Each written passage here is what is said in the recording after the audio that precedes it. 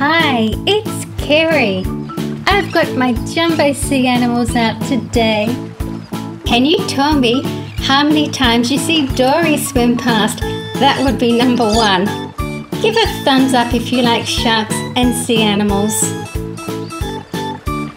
The lobster. Lobsters are 10 legged creatures just like shrimps and crabs, their closest relatives. The lobster molts its shell each year to grow a new larger one. The shell cannot expand in size as the lobster grows. Lobsters without shells are easy prey and they usually hide until the new shell grows. That sounds like a very good idea.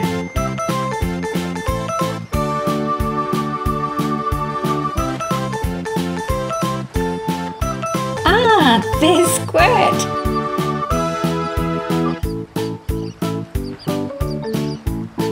Pufferfish are also known as blowfish.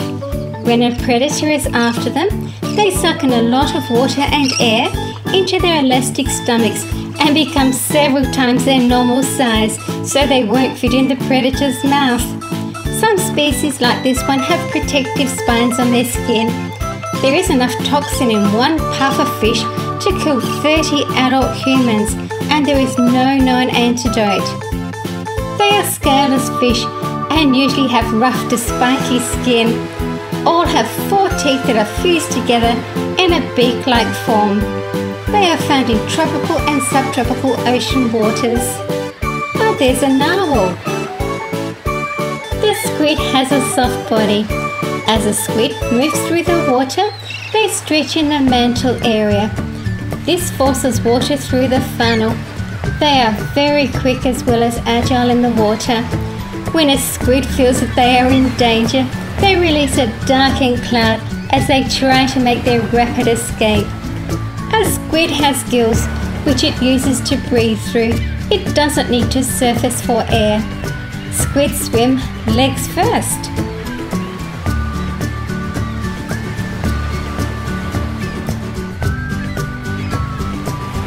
Diver Michelle.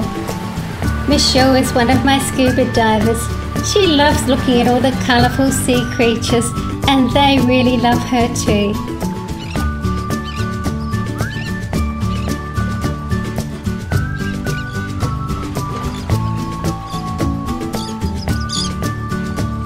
And there's a jellyfish.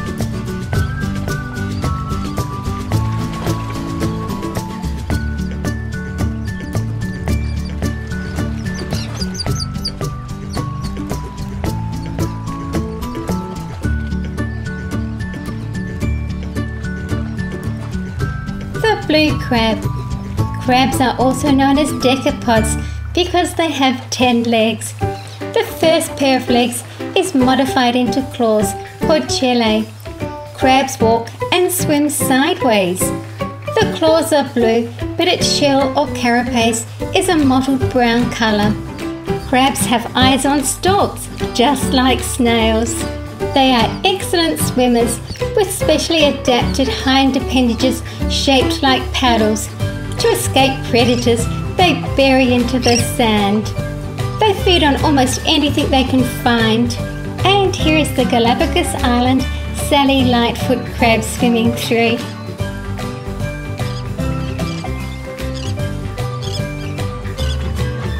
The cow-nosed ray. They are related to sharks and skates. They get their name from their forehead, which looks like a cow's nose. They are brown to olive coloured on top and pale underneath. They grow to between 2 and 3 feet or 60 to 90 centimetres. They have an excellent sense of smell and touch, as well as electroreceptors on their snouts to help locate prey.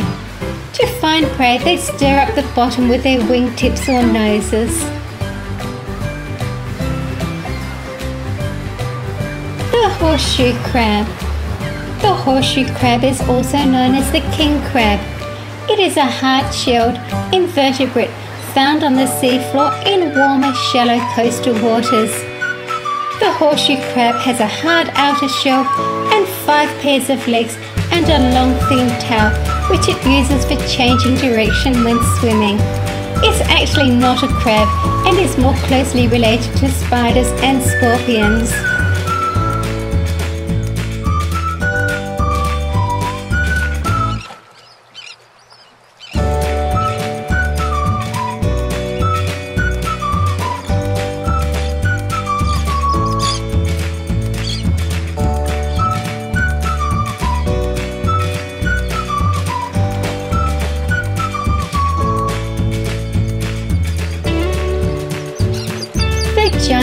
Pacific octopus grows bigger and lives longer than any other octopus species. The largest one was 30 feet or 9 meters across and weighed an enormous 600 pounds or 270 kilograms. An average size is more likely to be 16 feet or 5 meters, about half of that. The giant Pacific octopus has huge bulbous heads and are generally reddish brown in colour. They're able to change their skin colour and textures to blend in with the corals, plants and rocks. They are found in the temperate waters of the Pacific and there's a little dolphin going through there.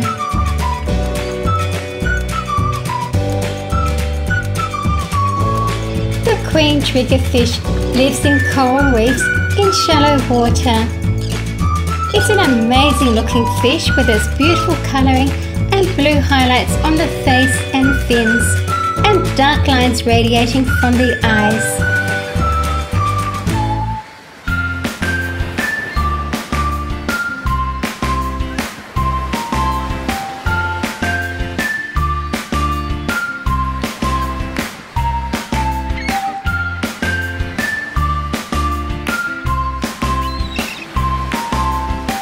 The goldfish.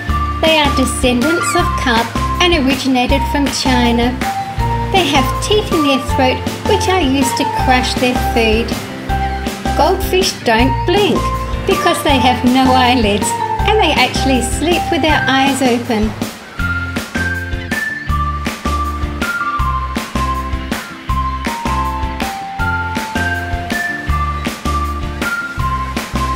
Ah, there's a hammerhead shark in the background.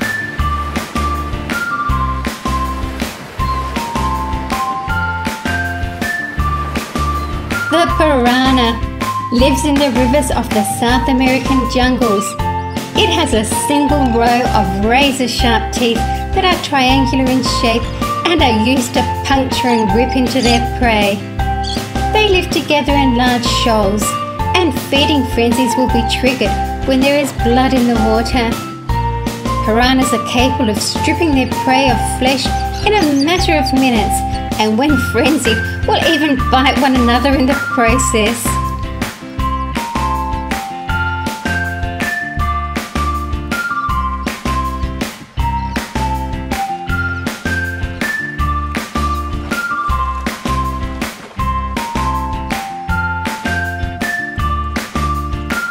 The moray eel lives in holes and crevices amongst the rocks and coral on the ocean floor, where it can also ambush prey.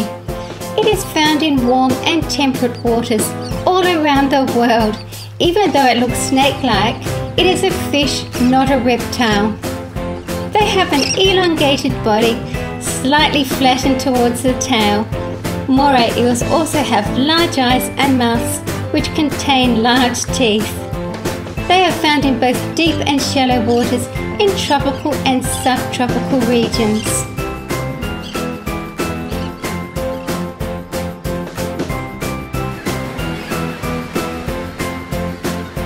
I really like this large crocodile. The largest saltwater crocodile found was over 20 feet or 6 meters long. This is a really nice model, it's quite soft to touch Yet it's got lots of teeth there.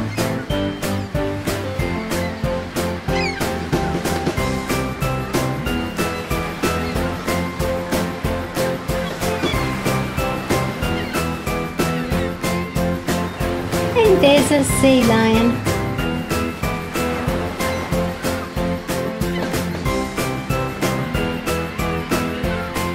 The great white shark Inside those jaws are 300 serrated triangular teeth. The first two rows of teeth are used for grabbing and cutting prey. The teeth in the last rows can rotate forward when the front teeth are broken or lost. When the great white attacks, it bites its prey and shakes its head back and forth. The serrated teeth act as a saw and literally tear the victim apart. And love to read your comments. Tsunami alert! Tsunami alert!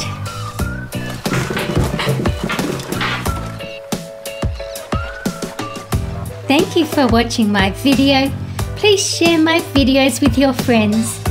See you again soon.